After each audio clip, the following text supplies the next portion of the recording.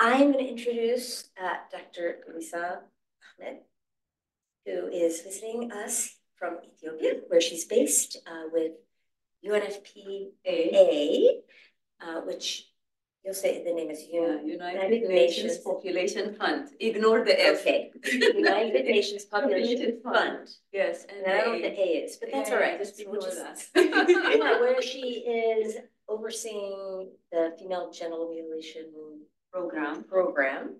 And we're gonna hear about that and all the work you've been doing kind of leading up to that maybe a bit. Yeah, Um, okay. so please take it away and yeah, well, I think we'll have good time for interaction and Yeah. questions. Cause I told Wisal not to talk the whole time because we'd have lots of good questions. I hope so, I hope so, and I'll wait for people to to join, but yeah, it's so nice to meet you all. Um, I was just reminiscing that um, my relationship with the University of Washington is uh, what, twenty-four years old? I came here in two thousand, so I'm really back home. Thanks to Carrie facilitating this presentation. So yeah, my name is Wisal Ahmed. I am an alumni. I did the MPH in epidemiology through the IARTP program and PhD in implementation science from the same university. Um, I'm a medical doctor by training and have always been interested in women's health. Uh, but the last, I don't know, seven or so years focused more on female genital mutilation. Worked for WHO, uh, where we worked with the health sector response to address female genital mutilation. And now uh, I am working with the United Nations Population Fund uh, to uh, have really oversight on a multi-sector, so it's not just the health sector, but many sectors, response addressing FGM in 17 countries. So yeah, so it's a big responsibility, but it's also a very interesting area of work. And I'm hoping actually through my presentation to have people interested in this area and, and work with us in strengthening, I think, the evidence component uh, in, in FGM programs. So um, I want to now, I need help. It's all In- on, so they can see her too. Um, yeah. So share. So, yep, share your screen. Yeah, we did that. Okay. And this. Yeah, okay.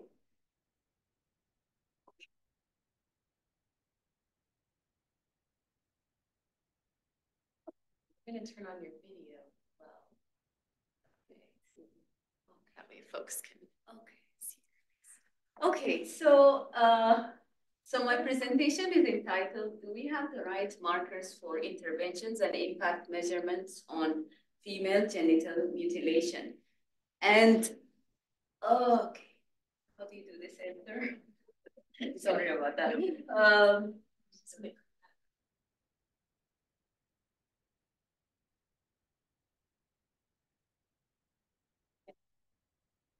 Okay, great. So I will just give a brief introduction, a global overview on the FGM abandonment progress, uh, something small about what I am currently doing, uh, and uh, try to answer, try to answer why is there progress, what works, what are the measures that we use for interventions and impact, and share some results of an exploratory analysis that we have done recently.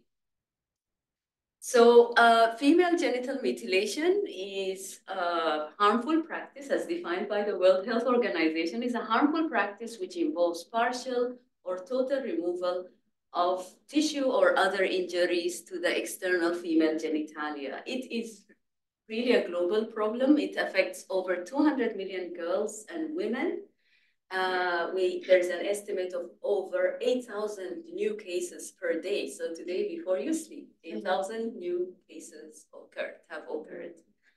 And it leads to several immediate, short and long-term health complications that have a whopping health cost of one point four billion dollars per year.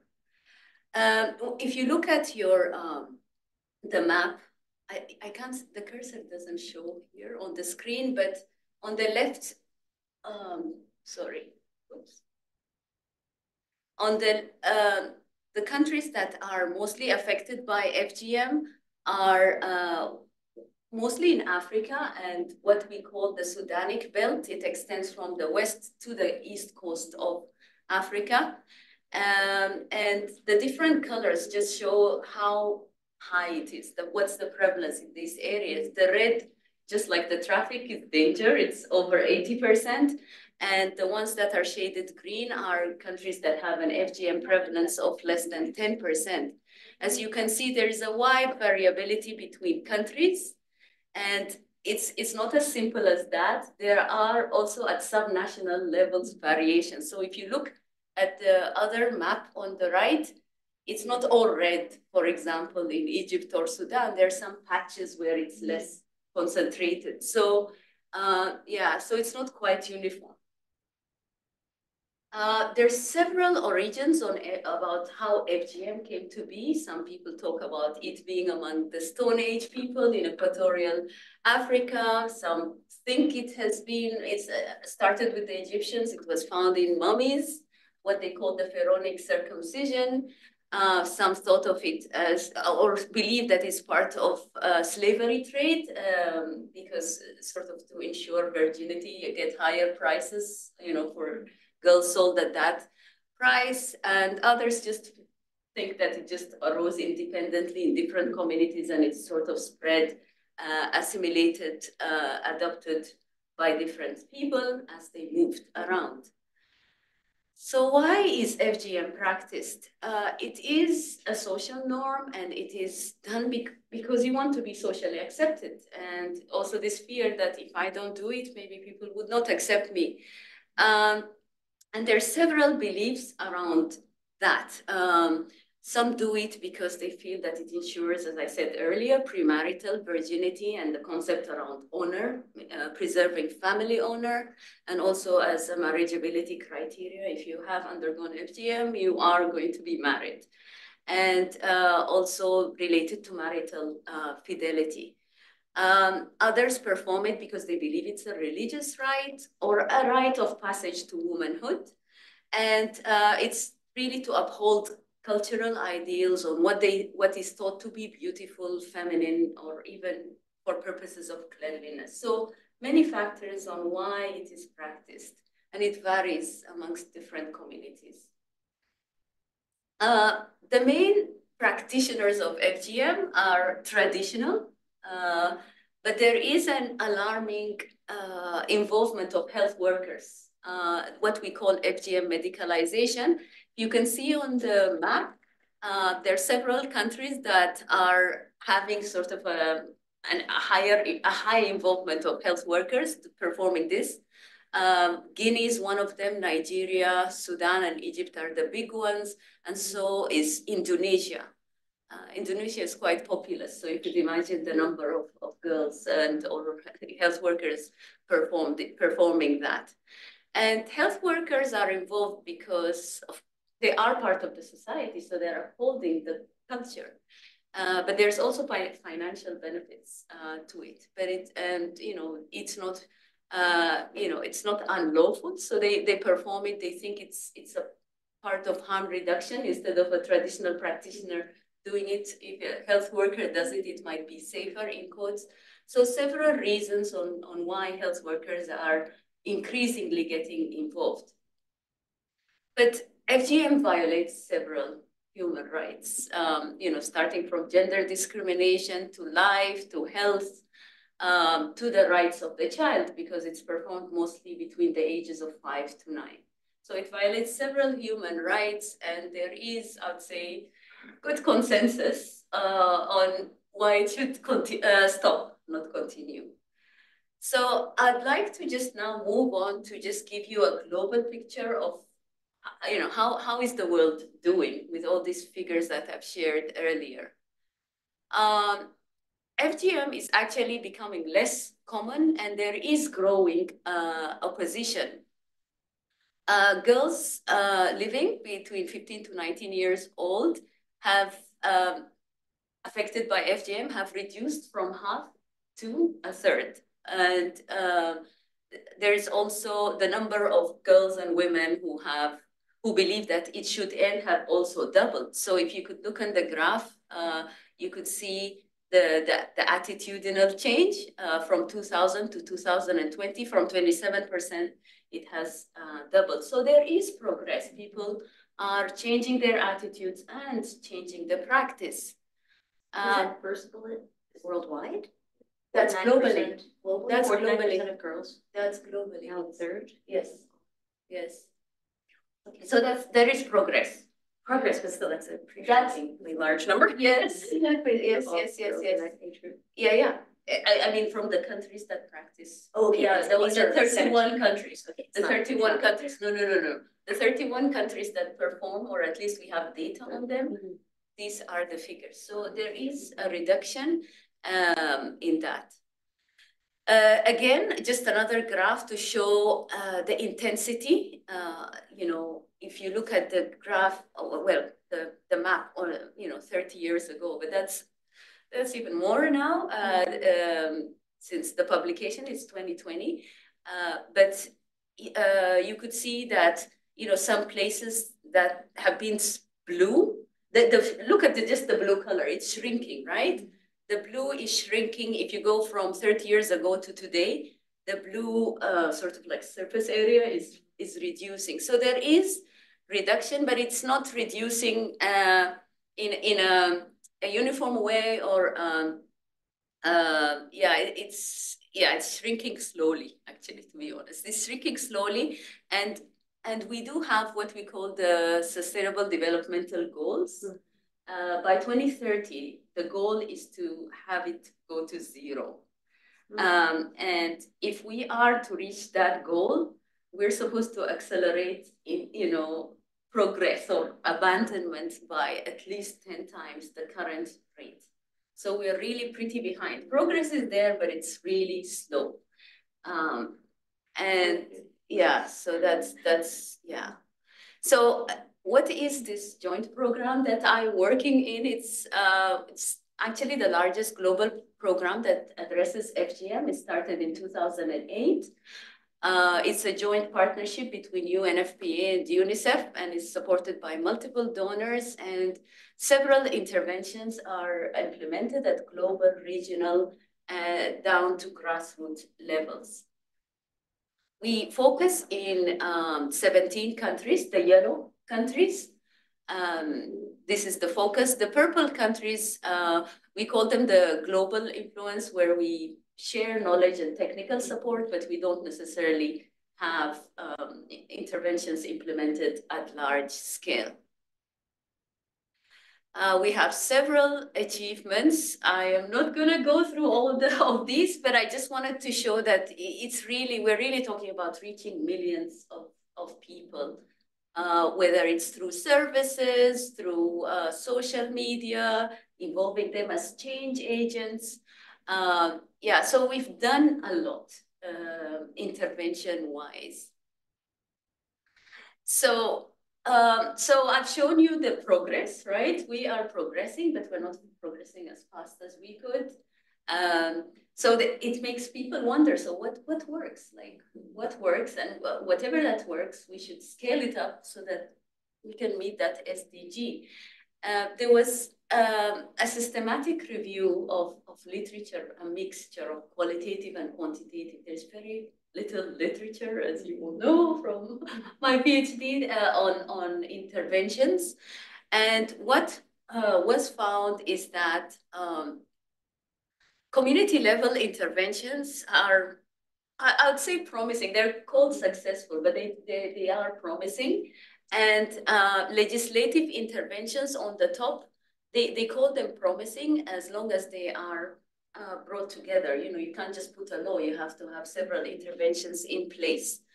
Um, service level, um, shown that training healthcare or health workers uh, to be change agents um, is suggestive to be successful. So, uh, so you, you, there's health workers, there's community level interventions, there is education of girls as potentially a, a good intervention.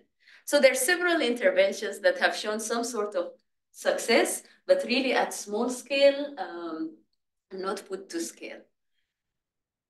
Um, uh, this one, I'm just gonna skip it, but maybe in the questions. So, so what are the intervention uh, measures? Uh, you've seen that very busy uh, table. Uh, I really want to stand up, but anyway, the, the measures of success are usually outputs like numbers of people trained, those who've received services, engaged uh, in any of the activities. But it really boils down to what is changes in knowledge, attitudes, intentions, and obviously to practice, right? Prevalence. Um, and what we call the FGM risk uh, incidence. so what we did, um, we tried to see um, what were what were the factors that were that were associated or could be associated with attitudes and practices. Um, and we just did a simple uh, correlation, just looking at the factors to see if they determine attitudes. Uh, law, uh, remember there's one about the success in law. Um, you know, education was also one that was found to be a success factor. Um, we, you know, law, there's also the religious part of law. We were also trying to examine that. And we wanted to see if even our program itself, uh, this joint program, could be associated with any of attitudinal or changes or um, in, in the countries that we worked with. Um, so we, you know, first of all, the sample is very little. You're really talking about 31 countries because we're looking at national data. And what we found that's sort of indicative, like uh, FGM law duration, uh, could be associated with um, attitude. But the rest, there was very low uh, correlation between um, these factors and attitudes, and this is this is DHS data. Um, so we looked at uh, the FGM prevalence um, we used, okay, we looked at FGM attitudes. So our FGM attitudes determinants of FGM prevalence and whether the FGM law duration has any association with FGM prevalence. Did it, it's so very, not very promising. No, not very promising at all. So, um, okay, so the FGM attitudes, uh, girls and women who do not uh, support FGM was negatively correlated with FGM prevalence, which makes sense, right? Yeah, if I'm not supporting FGM, it means FGM prevalence would go down, right? Uh, and this one is a bit complicated because um, in surveys, you ask the people the, right now, what is your attitude of, F, you know, towards FGM? But the FGM prevalence is really something that happened 15 to 49 years ago. So to me, this doesn't make sense. Like, I mean, it, it does show some association, but it just doesn't add up. And then when we looked at FGM law duration, it's it's positively correlated. Um, yeah, so again, uh, it makes sense. if you have a low, the longer you have it, um, is supposed to be negative, you, you, you have FGM. But FGM uh, laws are not really enforced in any of the countries. So you have a law issued and it could continue for 20 years, but it's not effective. It's not being utilized, just a law. Um, so it, it doesn't have any impact. To me, at least from a programmatic point of view, uh, they are not enforced. So I don't know how this association came to be, uh, but it's not, it does not negate the fact that FGM laws are not uh, effective. Um, what would be an example of a FGM law, law country cannot, is, are they, do they target medical professionals or is it? It's, it's everybody, everybody, everybody, you know, parents can go to jail.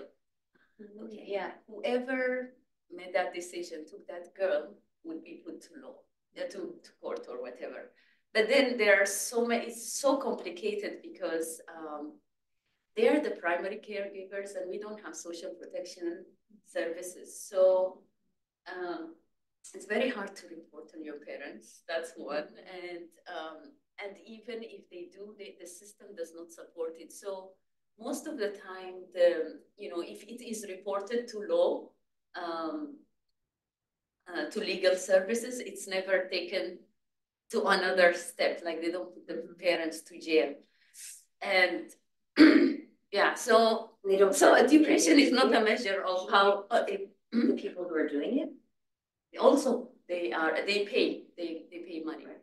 They pay money or put them in jail. Yes, right. Yeah, the medical practitioners or the. The medical practitioners should be receiving the severest, the most severe uh, punishment. Have their license because uh, they they have the do no harm mm -hmm. oath, and so they're supposed to. But again, because it is a complicit agreement between the family, it's very hidden. Chances of it them being caught is very low. So it's very hard to apply the law. It's very easy to say it's it's you know like there is a law of the land, but to apply it mm -hmm. because it's a really a complicit agreement. It's it's agreed between two parties, it's very hard mm. to be reported unless you have some sort of a police, uh, a community police in, in place. So having a law does not mean it's being applied. So, and, and to me, even, uh, you know, even if these associations were there, they, they are very weak, you know, the, the, the, the effect size of that association is so weak uh, I'm not very motivated with, with attitudes uh, and law. So uh, we don't know. we don't know, um, at least from um, population data, FGM prevalence and law, at least, uh, or attitudinal changes, if there is anything uh, to see. So, um, so what are the next steps? Um, so as, as I mentioned briefly, FGM prevalence is really the number of girls and women who have undergone FGM over time. So it's um, it's a very um, yeah, yeah, it's very hard to see changes over time because you really have to have cohorts dying off to see some sort of like fresh. Um, so people nowadays are working on what they, you know, they're using the data to do survival analysis to estimate the risk because your risk changes with time, depending on culture too, right? Mm -hmm. If I exited maybe the five to nine risk area, maybe the, and this is where it's most commonly performed, uh, my risk will reduce. But then some people have it after 14 years old. So, so risk could be a better, well, it is a better measure of uh, FGM uh, yeah, so if, if you would like to measure impact, probably this is the measure that you would like to use.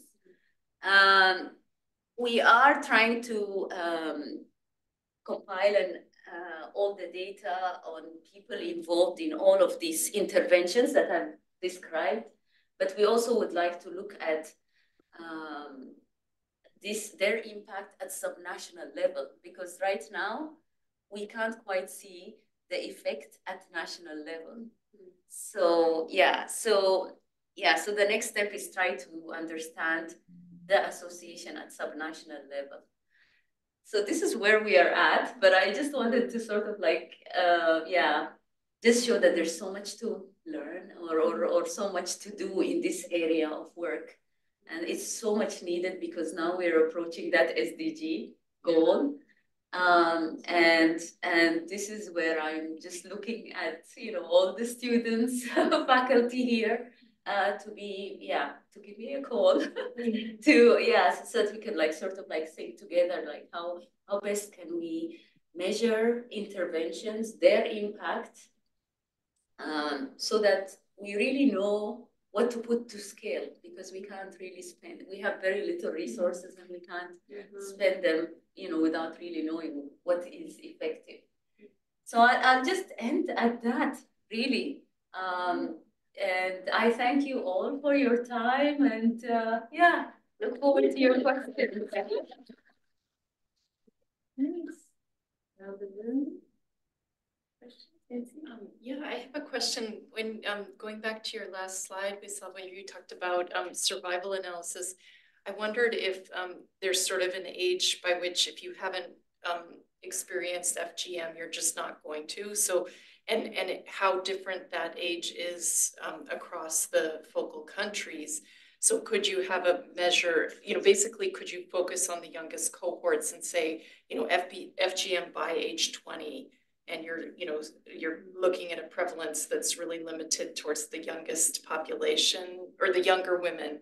Um, so that you have more of that kind of, um, closeness between the interventions and then the outcome measurement as opposed to that, you know, FGM among all women, like you Yes, said, then there's, you know, you don't wanna be surveying the grandmothers to know what their That's it. FGM status is. But, but how is, how different is that kind of maximum age of FGM?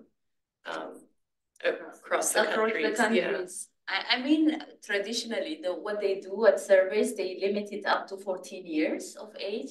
But we know, um, some countries in West Africa, it's beyond the fourteen years. So now it's trying to narrow down to the, the twenty. Probably twenty is actually a good, uh, Yeah, or yeah, sixteen maybe, or or eighteen, yeah, something like consent, yeah. around consent, yes. Mhm. Uh, but yeah, so this is sort of the challenge. Yeah, as you said, you know, what I am measuring now is not necessarily uh, a result of the intervention that I'm doing now. It's it's probably a bit historical, and this is sort of like the you know it, it's really very confusing. Like when you do a program, and then the donors say, so what are the changes? What are the changes right now in the practice, right? You have to ask women, so it's not an exam or an No, objective. no, no, it's verbal. Yeah, That's so it. people might not be fully That's it, reporting as yeah. well. There's That's some it, bias that's there. it, that's also Yeah. another problem, some biases, the verbal reporting. Some people are very concerned, especially when there's a law. Um, they're very There is a scared law. to report Yeah.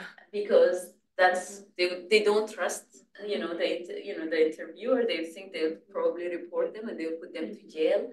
So there's this, this issue about that. And, um, yeah.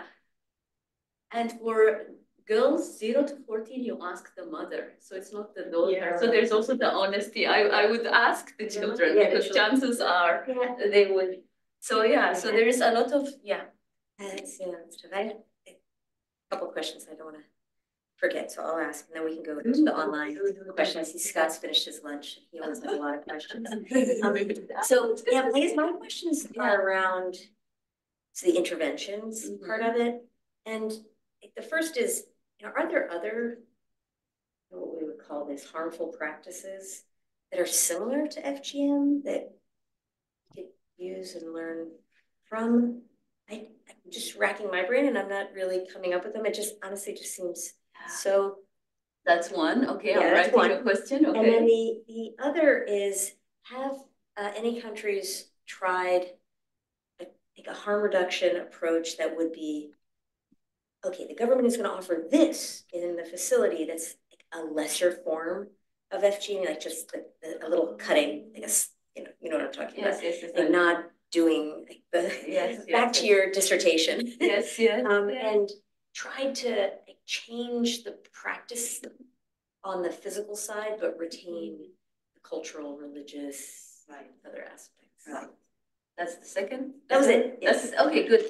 So, uh, I don't know if it's really the closest, but usually female genital mutilation is, I don't know, they, they, they think, well, child marriage is sort of like put as a, another close relative of female genital mutilation. The thing is, um, the interventions for child marriage, I don't think they are as old as the female genital mutilation interventions. So it's it's sort of like I, I I don't know, but I'm not an expert in that area. But the literature is still just not as strong as female genital mutilation interventions. Um, and it's really interesting. Most of the research around harmful practices have been mostly anthropological. So uh, people were trying to understand why. why was this, why is this Mhm. practice done? Yeah. You know, and so there hasn't been so much evidence around interventions and people really didn't. Yeah, it was, yeah, it was mostly descriptive. So the interventions have come, uh, but the, even the studies around it haven't been uh, very strong. So uh, child marriage is one. Um, I I don't know another um, that could Maybe be like scarring, I guess you could, I'm just thinking of, Or How we is do- The scarring? Would there be any infant feeding that's practices that are harmful? that They, are they, they also, they give this equivalent of, um, yeah, this, the, in China, they used to s- foot binding. Yeah. right? Yeah, and they, they felt the community, I think the community declarations or something was a very strong intervention. And that was sort of borrowed into female genital mutilation. It's really one of our major interventions. But we're, for me, we're yet to see the strong evidence to show that it really works. Um, for me, I find female genital mutilation or, or just the female genitalia because it's hidden. Uh, it's a taboo topic. It's very hard to address and it's around sexuality. Very hard to, to address around religion. Um, uh, so the drivers are so hard to, to, sort of address, right? Uh, yeah, so, you know, people have done, re- you know, religious leaders' involvement and all that, but, but it's still very slow. The, the interventions haven't put, put the scale to sort of see the effect. And as you well said, um, the prevalence, the measure of prevalence isn't great, right? Um, to, to sort of like, you know, how could you go back in time and measure? And usually interventions don't have very good programmatic data and monitoring and evaluation data to sort of like use over time. So yeah, data is really a challenge uh, for us. Uh, this is one. Harm reduction, a very good example is Indonesia. Uh, they have, it is really, uh, when a girl is born in a hospital, part of the delivery, uh, sort of like care, is to pierce her earrings Mhm. and also perform um, FGM to her by a, a health worker. Uh, Egypt also they've they've they've involved health workers to do it. In fact, doctors, and as you've seen in the map, it's still red. So it just reinforces. Actually, I think involving health workers is the worst thing you can do. As a harm to have some, reduction. like, much, something to replace it, but not really, it's like, okay. it enforces it. Imagine a health worker. A health worker tells you what to do, and we believe in health workers. So if you give them that, that's it endorses the practice, and people think it's really safe, and it kills. There was a case in Egypt that, uh, you know, a doctor did it, and the girl died. So it's not safe. It's definitely not safe. And the female genitalia, especially when it's done when a, child, the baby born, they they're like they're amputating. They're not they're not like doing anything. It's it's really bad damage. So yeah, and we've shown from the systematic review alternative rites, um, harm reduction don't work. Don't. That one we know. That we know. Okay, That we know. So it's really towards zero. It's this or zero, no lesser forms. Yeah. That's not. all right, questions from the Zoom room? I have a couple of questions. Lisa, thanks so much. It's wonderful to hear what you're doing right now, and that was a really nice talk. Um, are you all able to hear me okay? Absolutely. Yeah, okay. Um, one of the things that I was wondering is just a follow-up to what Nancy was asking, which is specifically whether the DHS data are collected in a way or could be used in a way that allow you to look at FGM prevalences across different age bands to avoid sort of the massive cohort effect that you see when you look at, at countrywide prevalences. Yes, uh, DHS data is actually in, in five-year age groups, so you, you do have that. But the problem is that, um, you know, if I look at just the, the, the, it, it's not confirmed, like if a girl exits five, that her risk like is zero, you know, she, she, uh, because different communities have different age groups. So even if I do it at smaller age groups, um, it's not gonna be, um, it, it, it will not capture the full picture because um, we also seeing trends that uh, FGM age, the age of performing FGM is also shifting. Mm -hmm. So uh, it's, it's very weird. Like before we thought it was five to nine. That's where most of the girls undergo FGM. But now, because of law and people don't want to know that it's being done, it's being shifted. It's shifting to lower age groups. Mm -hmm. So now it's really a guess game in a, in a sense. So we need to be sure, at least by 14, she has not undergone um, FGM, or by 18, she has not undergone FGM. And even, uh, you know, I've talked to some demographers, like, why don't we do that? And, and their worry is just samples. They, everything becomes smaller and smaller. You know, when you break down the samples, like, um, you know, uh, age groups, yeah, then you can't quite look at associations. So, yeah, but that's a really good question. Yeah. I guess I would think that there would be, on some level, that at least within countries, you would be able to compare data over time in the different age bands. And the, the shift in timing of FGM would be potentially problematic, but you could potentially model that in as well. The second, they have done this. They have done this. They we we do look at trends over time on the the zero to fourteen and also the fifteen to nineteen. We look we look at those trends uh, but those trends are also not very rapid. Uh, they're not very rapid. Yeah, but we do, we do that. Great. Mm -hmm. Any other questions? Um, I have another one that's kind of measurement oriented. Yes. Um, yeah, so is, um, you're, you're talking about attitudes, um, you know, those attitudes measures and how like you're not so satisfied with that you know, attitudes as a predictor, right, for all the reasons you've discussed. Is there a good um, linkage between like measures of intention versus, versus what actually is done? I, I, I just think about, you know, this was many years ago. I lived in Mali, and I think there it was often like early teenage girls. And, you know, maybe the girls would be very opposed to it, but they, what they weren't in control of their own bodies. And maybe even the parents would be kind of opposed, but then it's like the grandmother or some, you know, somebody else influential who can all of a sudden kind of flip it and make make it happen, right?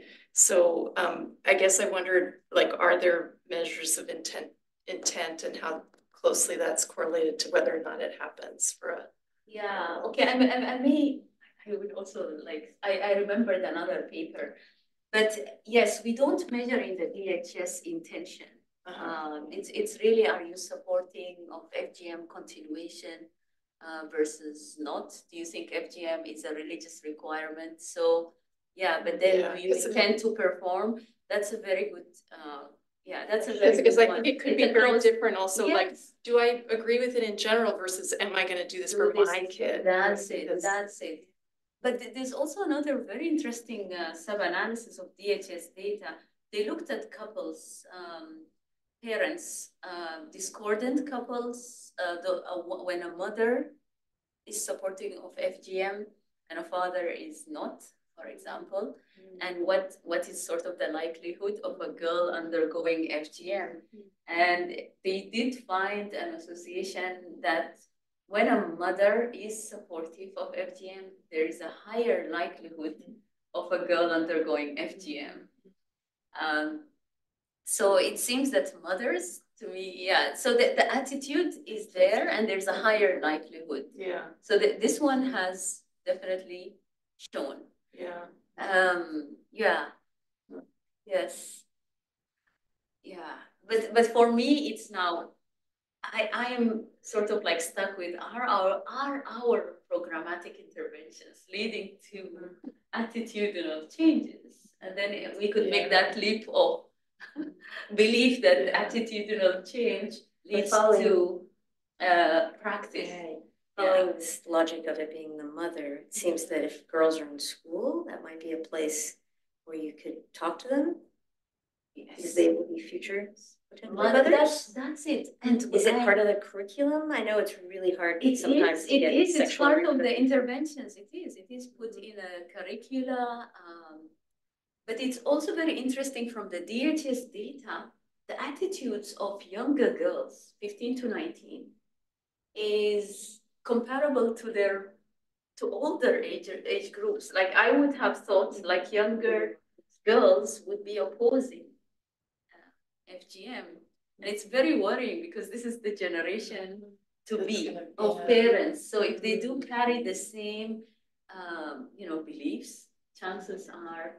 So yeah, so, but that's it. The idea is to sort of like break that vicious cycle, try to, to give them an education. Uh, it's very, it's very developmental, right? So you have to get all the girls educated and educated on FGM. um, To do that. Question from Yes. Ravi. Ravi, do you want to go ahead and ask your question? Hello. Yeah, well, hi. Thank you for coming, Wisal. You're welcome. Hi, David, and hi, everyone. Well, mine is like I, I just wanted to make a comment on the, you know, 15 to 19 acting like moms, and then if mom is supportive.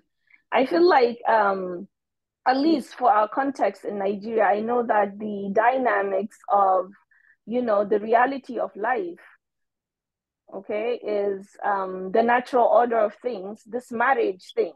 So from that age of 15, you know, they're in low resource settings and in a lot of settings that continue to perpetuate FGM, there's that worry about, oh, the natural transition for a girl at puberty is for this girl to get married and move on.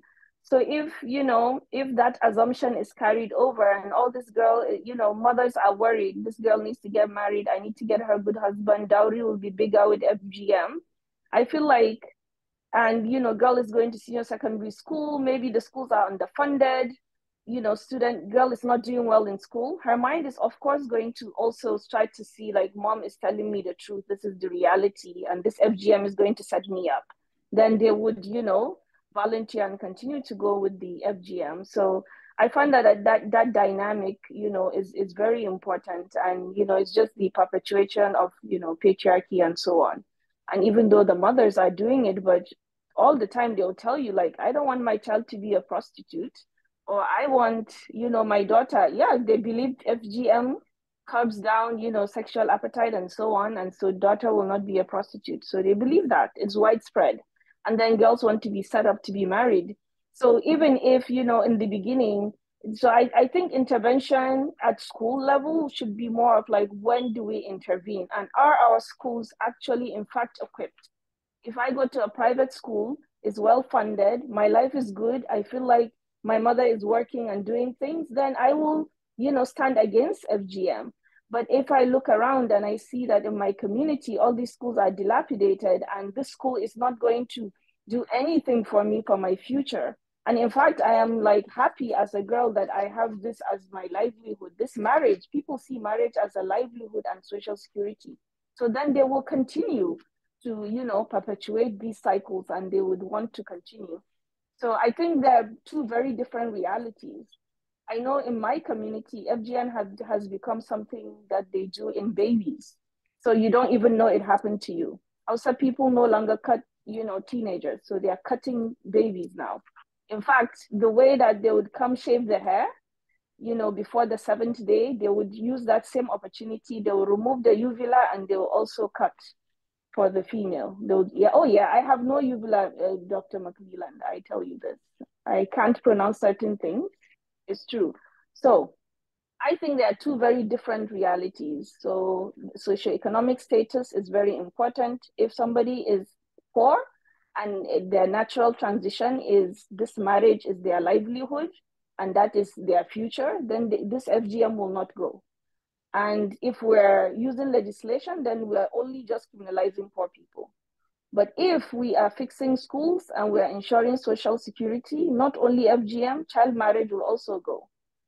And we saw that with COVID. The moment we COVID happened and people were not going out there to mind their business and do their get their money, we saw that they started to marry off children. not only in Africa, but also in India. So I feel like this is very important, looking at the socioeconomic factors and how they are factoring into all these problems that we have in, in societies, especially in low resource settings. And this is the same thing with when a Somali mother takes her daughter to Somalia in the summer, her daughter who is 17 or 18, to have FGM done. Is still thinking about we're in this low socioeconomic setting, and my daughter, I want her to marry somebody that is in my culture, and I know that FGM is having value. So we need, you know, the men to remove this value from FGM. I feel like that's the way we should think about it and think about socioeconomic status. And thank you so much, Wisal, for coming today. I apologize for coming late. I was very excited to meet you. Thank you. Thank you, Ravi. I mean, okay, what I'm trying to challenge here, even in my presentation, and, and maybe I didn't put it very strongly, and I need to maybe share more data. The reasons for FGM or what's driving FGM is really diverse in many communities, right? I mean, if we look at DHS data, um, yeah, it shows us consistently that it is associated with socioeconomic status. Um, it's associated with education. But, um, you know, it's socioeconomic status and education are, I don't know, intertwined. You know, poverty and education is intertwined. And there's rural versus urban. But then in some countries, there is no difference between rural and urban. Uh, there's no difference between socioeconomic status. The rich and mm -hmm. the mm-hmm. poor do it. So it's not even a poverty question or an education question, right? So mm -hmm. my what really troubles me is it's not, it's not troubles me, but it's so complicated that you can't really have one singular intervention or even one singular driver. Yes. yes. Right? You can even have in a family a sister who decides um, yep. the same genetics, right? The same household, the same exposure. But she decides not to have her daughter undergo FGM, and one who really believes that to have so I, like this, it's so complicated, and and that's where you know, like, what what can we measure? What can we measure that will make sense uh, and monitor over time and say, okay, this is changing, right? And and for mm-hmm. us, you know, the behavioral science, there's this the theories of okay, knowledge translates to attitudes, translates to practice. But is that really what happens? You know, you know, we I always say at the beginning of the year, I always promise myself I'll do so many things, but do I? You know, I intend. Yep, that's true. to do something, but I don't practice it. So yep. yeah, so so for me, you know, because it's so diverse, the drivers are so diverse. Um, I was challenged by a publisher. He tells me, I don't think interventions work it just it will just go by itself you know? And that's where i'm so keen like let's measure the interventions and let's see do they work or do, do they not work? But then you know we're living in such a complex uh, by the way it's from nigeria. Mm-hmm, and there's mm-hmm. also this norm that we have and it's very common even with sudanese where you we have these gashes on our face yep yep the facial marking yep. The facial yes the facial markings. Yep. and it didn't it just disappeared. It, you know, yep. we don't know what intervention happened, and maybe we need to study this some more. But it was a sign of beauty. Uh, it was a sign of identity, mm-hmm. uh, but it, it, just disappeared. Um, yep. So there is this sort of like even theory of like, do we really need an intervention for a social norm to go? It's just that this is quite harmful because it affects, uh, you know, if you're in the health it does have a lot of health complications and it really stretches these low income countries some more, right? We're yeah. spending so much money. So it's it's not because it's, uh, you know, and they do the worst, the worst forms of FGM that mm-hmm, you really mm-hmm. have to kind of mm-hmm. like want to stop. So, mm-hmm. and, and that's why I'm really keen on, on trying to, you know, measure the interventions their effect and so that yes so that i don't keep on repeating and and some people believe they really strongly believe we should do this i'm like where is the evidence where is the evidence yes uh, Thank you. Thank you, Robbie. Thank you, so. Hi, Rizal. Um, I'm not sure if you can hear me. Uh, can you all I hear me? Yes. Okay, great. Uh, okay, thank you for your presentation. So my name is Absa. Um, I co-founded the Washington Coalition to End FGMC, which was uh, is a survival-led coalition that worked to get uh, Washington State uh, to pass a law that uh, prohibits the practice in the U.S. Um, and in April of this year, we got uh, the law passed, uh, the bill passed into law. And I just wanted to speak on the issue of the gap in data, um, specifically in the US. And I wanted to hear uh, from you whether your work looks into the US at all. Uh, in doing this work, what I have come to learn was most, most, almost all the data, um, research data on FGM in the US has focused on African immigrants um, who come to the US and uh, children born of um, African immigrants to the US. And the problem with that data was that it had huge implications for those, both those who were counted in that data and those who were not. Um, in many ways, it left out white individuals who have, uh, who practice FGM. Um, and we know that today, because many of them are coming out to share their stories, it left out uh, Asians and brown communities where this practice is also prevalent as well. And it, it contributed in many ways to uh, sort of uh, stereotype um, and marginalize communities, um, immigrant communities in this country who come from societies uh, that are known to have FGM. Um, so I wanted to know um, I, I don't think that I have come across any sort of uh, research data that has updated these um, findings that the CDC has backed in the US. And I wanted to know if uh, your work looks into this at all or not, and if there's any data. Very good. Congratulations, Absa. Uh, we don't, uh, the US is not one of our focus countries, but we do work with it through networks. Uh, there's the End FGM US network, uh, but I'm, I'll be happy to connect with you. Um, so I know of just because of my academic sort of background. Um, you're absolutely right. Most of the FGM data is driven from African immigrants. Um, and there's the, the calculation is, I feel it's very erroneous because you assume the FGM prevalence that they have in their countries of origin is equivalent to what's happening um, here.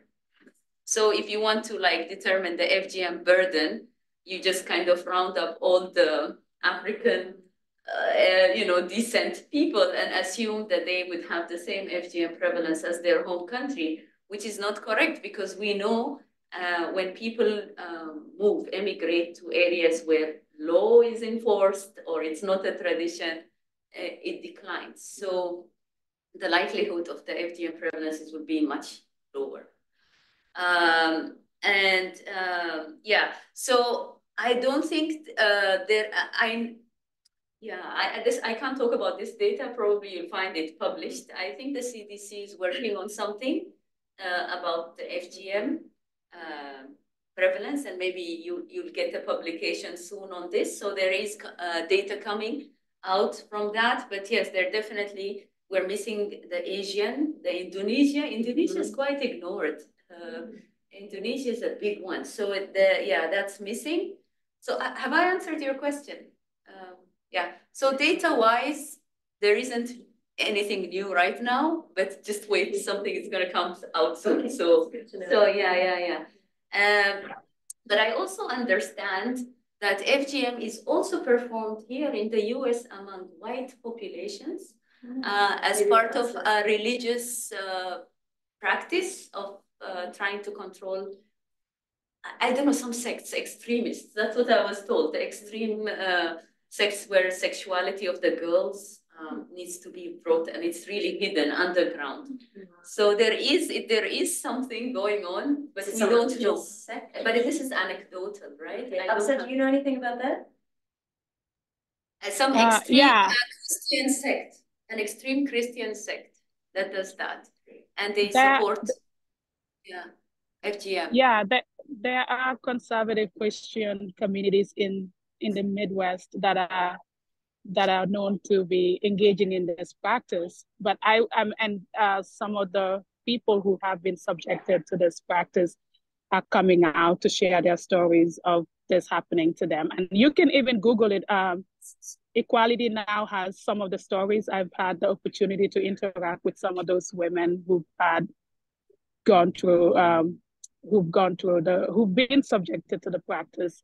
Um, but I I know that even earlier on, just from my own research in in the 1950s in the U.S., um, FGM was used as sort of a cure for lesbianism. So this is not a new thing in the U.S. Uh, among white communities, but the research and data has largely ignored this and uh, made it an African issue. And I think there is a lot of intentionality around that as well in the US in terms of interventions and support for communities that are believed to be impacted by this. It's also complicated. I wouldn't speak of the US, but also in UK where it's very much um, sort um, enforced. Any uh, a person coming from Somalia, Sudan, you know, high prevalence, they are asked when you're going on holiday, you're going to perform that, and and it's very suspicious. It's it sort of infringes on people's rights because they force force examine. Force, yes, sometimes force examine just to make sure that the girl has not undergone FGM. So, so sometimes the law could also reverse, like impin, you know, like infringe on your human rights, you know, to privacy. So, yeah, so it can go wrong. It can It's do. tough one though, but you also said when the laws aren't enforced. That's it, that's it. What's the point of having law? That's it, that's it. But then, you know, it, it's really, it's kind of like, uh, these populations are already, uh, you know, they're, I don't know, they're like a minority. So it's sort of like giving them even a harder time, Yeah. um, to, to, Yeah. to settle. Unless you in. do that for everybody. That's it, but not everybody's doing it. Yeah. Great, we should probably wrap up Thank because I think it's time, but thank you so much. Thanks everyone for joining. Thank you, Wissam. Yeah, I, I, I want to add, I want to add that in the US, so on the visa application, you have to like, you know, attest that you will not come to the US to, you know, perpetuate FGM or promote FGM or practice FGM. So it is one of the things that you have Yes. to check no. This is Before new, you this is come in. new.